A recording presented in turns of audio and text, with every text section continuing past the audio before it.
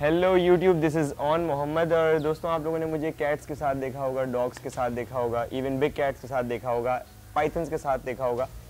लेकिन ये for the first time in Pakistan है कि आप मुझे एक हाइना के साथ देख रहे हैं। आप लोगों ने गोरों को देखा होगा कि वो हाइनाज ट्रेन कर लेते हैं। हाइनाज ऐसे एनिमल हैं जिनको फ़ील्ड लैंग्वेज में डेविल कहा जाता है, यानी कि शैतान।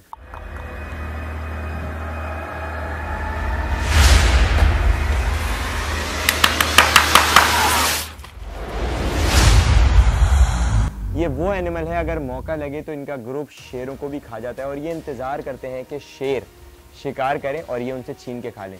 दोस्तों, इसकी बाइट फोर्स शेर से ज़्यादा होती है और लोग ये समझते हैं कि पाकिस्तान में हाइनाज नहीं पाए जाते। ये स्ट्रिप्ड हाइना है और स्ट्रिप्ड हाइना में एक छोटा सा डिफरेंस होता है कि बाकी हाइना से हाइनाज की चार कैटेगरीज होती हैं। Striped hyenas spotted hyenas brown hyenas और एक हाइब्रिड हाइनाज होते हैं।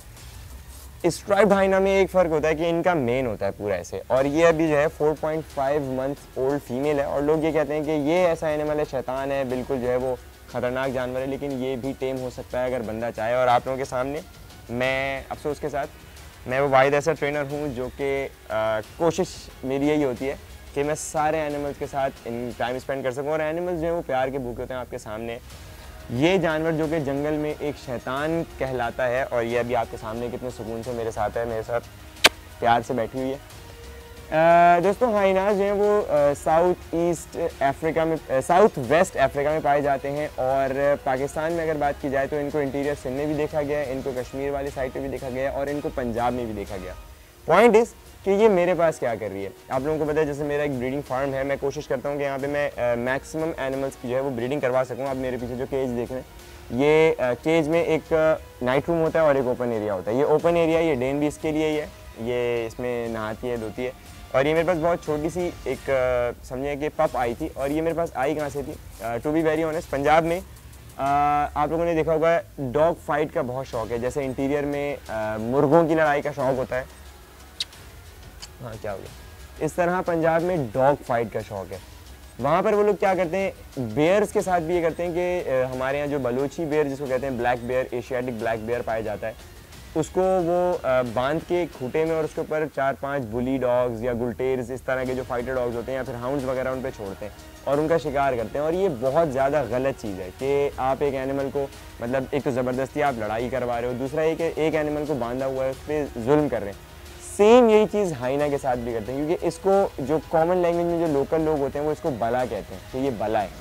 और इसको पकड़ के, इसको चेन करके, इसको उसके अंदर बांधते हैं लोग खूटे के अंदर अगेन इसके ऊपर बहुत सारे डॉग्स छोड़ते हैं। ये एक ऐसे ही ग्रुप में, मुझे पंजाब में दो पप्स मिले थे, उन्होंने कहा था कि ये हमने एक मादा पकड़ी थी, उसके साथ ये बच्चे थे, और हमने वो बच्चे उठा लिया हम इनको बड़ा करेंगे, और वो बड़ा इस तरह करते हैं कि जंगली हो जाए। वो इनको बड़ा करके और इनको वही उसी पर्पज़ के लिए यूज़ करते हैं जिस पर्पज़ के लिए वो लोग यूज़ करते हैं। तो मैंने उनसे रिक्वेस्ट की कि मैं चाहता हूँ कि मैं इसको अपने साथ लेके जाऊँ। मैं इसको अपने पास लेकर आया और ऑलमोस्ट ये फोर मंथ से मेरे पास है और आपके सामने माशाल्लाह से हेल्दी है। मेरा प्लान ये है, लोग ये कहते हैं कि ये वाइल्ड एनिमल है, आपने इसको केज में रखा हुआ है। इवन ये कि अगर मैं कभी इसको जस्ट इसका बिहेवियर सेट रहे, ये लोगों से यूज़ टू रहे, क्योंकि मेरे फार्म पे लोग आते रहते हैं विज़िट के लिए। जस्ट फॉर दिस मैं इसको कभी कभार चेन पट्टा करता हूँ। आप लोगों ने बड़ी कॉमन सी चीज़ सुनोगी ये लोग शेरों को चेन पट्टा कर देते हैं और वाइल्ड एनिमल्स को करते हैं। ये ज़रूरी है। इससे एनिमल्स पे कोई इफ़ेक्ट नहीं पड़ता। ये सिर्फ़ इसलिए है कि ये लोगों से यूज़ टू रहे। और मेरा पर्पज़ ये है कि अगर पॉसिबल हुआ, अगर मैं रख सका तो मैं इसके लिए एक मेल और कहीं से अवेलेबल करूँगा, अगर पॉसिबल हुआ। तो मैं इसकी ब्रीडिंग करवाऊँगा। और इनकी ब्रीडिंग जो है वो बहुत ज़्यादा मुश्किल है। कैप्टिविटी में पाकिस्तान में ये कहीं पर भी नहीं है। और ऑलमोस्ट ये नियर टू एक्सटेंट है। यानी कि ये ख़त्म होने वाले हैं। इनका शिकार बहुत ज़्यादा हुआ है। इसी वजह से कि ये मिस यूज़ होते हैं डॉग फाइट की वजह से। और दूसरी चीज़ ये कि इनका जो है वो जो खौफ लोगों में बैठा हुआ है, वो बहुत ज़्यादा है। अभी मेरे कैमरामैन को सलाम है कि इतने करीब चला गया। इनके खौफ की वजह से भी इनको मारा जाता है, लोग इनको बला कहते हैं। लेकिन ऐसा नहीं है, मेरा पर्पज़ ये है कि मैं कोशिश करूँ कि मैं इसकी ब्रीडिंग करवाऊँ और इसके पप्स जो हैं, वो थोड़े बड़े करके उनको इतना टीम नहीं करूँ क्योंकि ये ह्यूमन यूज़ टू है। और अगर मैं इसको उस पपी को भी जंगल में छोड़ देता तो वो फिर दोबारा किसी पोचर के हाथ में आ जाती है या किसी और एनिमल का शिकार हो जाती तो इसलिए मैं अपने पास ले आया। ये बहुत ज़्यादा ह्यूमन यूज़ टू है और ये वाइल्ड में अब सर्वाइव कर नहीं सकती किसी और पोचर के हाथ में। बहुत ईजीली आ जाएगी, इंसानों को देख के ये भागेगी नहीं, ये अटैक नहीं करेगी।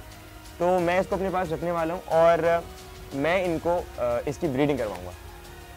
दूसरी चीज़ ये हाइना से रिलेटेड कि इनका जबड़ा जैसे मैंने आपको बताया, ये वाहिद ऐसा एनिमल है जो जितने भी कार्निवोर्स होते हैं, यानी कि जो गोश्त खोर एनिमल्स होते हैं, ये उनमें वाहिद ऐसा एनिमल है। शेरों को आपने देखा होगा जो एनिमल चैनल्स हैं, जैसे नेशनल जोग्राफिक है डिस्कवरी चैनल है एनिमल प्लानट है। इसमें क्या होता है कि आप लोगों ने देखा होगा शेर शिकार करते हैं, जब शिकार वो छोड़ देते हैं खा के पूरा तो उसका रिपकेज हो गया, उसका सर हो गया, उसके हॉर्न्स हो गए, उसके हूव्स हो गए हूव्स मतलब खुर हो गए और कुछ चमड़ा हो गया स्किन जो हो गई, ये जानवर छोड़ देते हैं, ये नहीं खाते। इवन गिद्ध भी आपने देखा होगा, जब शेर शिकार छोड़ देते हैं तो गिद्ध आके उनको उसमें से जो बचा हुआ मीट होता है, जो उनकी आर्टरीज वगैरह होती हैं, जो उनकी स्टमक वगैरह वाले पार्ट होते हैं, जो नॉर्मली एनिमल्स नहीं खाते, गिद्ध वो खाते हैं। लेकिन ये वाहिद ऐसा एनिमल है, जो सब खाता है। बिलीव मी गाइस ये सब खाता है। सबसे मुराद ये कि मैंने हाइनाज में मैंने आप लोगों को जैसे पता है कि मैंने ऑलमोस्ट फोर ईयर का इक्विवेलेंट कोर्स होता है कि एनिमल बिहेवियर कोर्स मैंने वो किया मैंने हाइनास पे भी स्टडी किया मैंने अपनी आँखों से हाइनास को हड्डियाँ खाते हुए देखा है। इनको मैंने जो इंटेस्टाइन वगैरह होता है, जिसे हम आंते वगैरह कहते हैं, वो खाते हुए देखा है। चमड़ा खाते हुए देखा है। इवन ये कि ये हुब्स भी खा जाते हैं, ये एनिमल के हॉर्न्स तक खा जाते हैं। और जब ये आ, कोई किसी एनिमल को खा रहे होते हैं यानी बोन्स वगैरह खा रहे होते हैं तो जिस तरह हम लोग कोई चिप्स वगैरह खाते हैं ये बिल्कुल उस तरह बिल्कुल आसानी से चबा के उसको खा जाते हैं। ऐसा नहीं है कि हाइनास जो है वो बिल्कुल ही इतना खतरनाक जानवर है कि वो आपको देखते ही आपके पास आके अटैक करेगा। बिल्कुल ऐसा नहीं है। हाँ ये है कि इनका खेल जो है वो बहुत खतरनाक होता है। इसका खेलने का स्टाइल जो है वो अभी शायद अगर ये मूड में आ जाए भी तो खैर बड़े लाड प्यार के मूड में आएँगे। वरना मेरे, मेरा क्रू जो है स्पेशली उनको पता है कि इसको शूट करना कितना मुश्किल है। क्योंकि इनका खेल ये होता है, ये काटते हैं स्क्रैच करते हैं और कभी कभार मस्ती मस्ती में मुझे भी बाइट्स लग जाती हैं। लेकिन ऐसा नहीं है कि आप इसको भला कहें, ऐसा जानवर नहीं है। आपके सामने मैं इससे मेरी कोई रिश्तेदारी नहीं है या मैं कोई सदियों से हाइनास के साथ काम नहीं कर रहा। मैंने बहुत सारे गोरों को देखा था इनके साथ काम करते हुए और उनको मैंने ये फोकस किया कि ये किस चीज़ पे फोकस करते हैं ज़्यादातर? उनका फोकस जो है एनिमल बिहेवियर पे होता है। ये बहुत टफ एनिमल है, बिल्कुल ऐसा है। लेकिन मैंने भी कोशिश की और आपके सामने माशाल्लाह से पाकिस्तान में वाइद एनिमल ये हाइना जो कि टेम है और कम्प्लीटली टेम है। माशाल्लाह से कुछ ज़्यादा ही टेम है। दोस्तों, अभी आप लोगों ने हाइना के बारे में इतनी सारी बातें सुनी आप लोगों के जहन में और आप लोगों ने टीवी वगैरह में भी देखा होगा कि हाइना बहुत ज़्यादा एग्रेसिव एनिमल है। मैंने ही बताया कि इसको डेवल कहा जाता है। लेकिन आपके सामने कितनी मोहब्बत से मेरे पास बैठा हुआ है। मैं चाहता हूँ कि आप लोगों को एनिमल्स के बारे में बहुत सारी बातें पता चलें और मेरा आ, इस चैनल का पर्पज़ भी यही है कि आप लोगों को एनिमल्स के बारे में एक्जॉटिक एनिमल्स स्पेशली और वाइल्ड एनिमल्स के बारे में आप लोगों को इंटरेस्टिंग फैक्ट्स पता चलें जो कि पाकिस्तान में आप लोगों को शायद नहीं मिल सकते और मुझे अफसोस है इस बात का। लेकिन इसके साथ साथ मैं आप लोगों को एक चीज़ और दिखाना चाहता हूँ कि ये एनिमल जब खेलने के मूड में होता है या जब ये आ, इसको हम फीडिंग करवा रहे होते हैं तब इसका क्या रिस्पॉन्स होता है?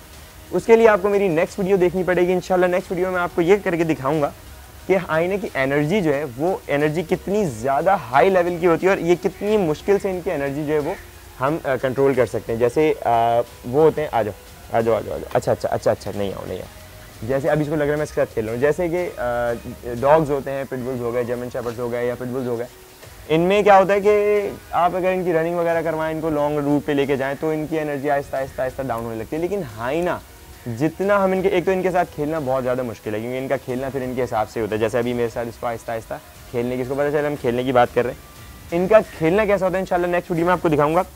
चैनल को सब्सक्राइब करना मत भूलिएगा, अगर आपने अभी तक नहीं किया, और अगर कर लिया है तो बेल आइकन ज़रूर दबाएँ, वरना मैं हाइना आपके ऊपर छोड़ दूँगा। और कमेंट्स तो आप लोगों के बहुत ज़्यादा ज़रूरी है, ताकि मुझे पता चले कि आप लोगों का फीडबैक कैसा है? लाइक और शेयर लाजिम है। इंशाल्लाह नेक्स्ट वीडियो में फिर मुलाकात होगी। अपना ख्याल रखिएगा।